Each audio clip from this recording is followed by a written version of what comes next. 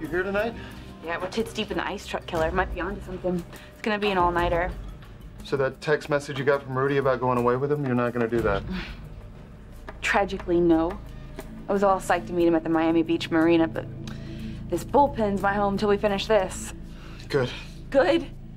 I'm working on a theory that Rudy was gonna propose and now he can't. Why is that good? No, I meant good that you're making progress here. Yeah, we're getting closer.